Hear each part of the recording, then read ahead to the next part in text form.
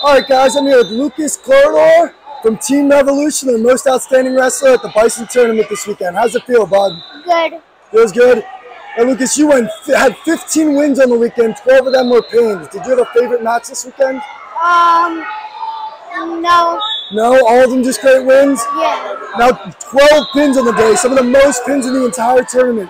What was your favorite move to use to pin some opponents? Um, cradle. The cradle, cradle is very effective for you guys. Now, uh, I've, I've heard you're moving to Japan at the end of the summer. How exciting is that? You have any big plans for that? Um, I don't think so. No plans, as long as you keep continuing wrestling. Okay. That's Lucas Corredor, your Revolution Outstanding Wrestler in the World UA Championship. Congratulations, buddy. Thank you.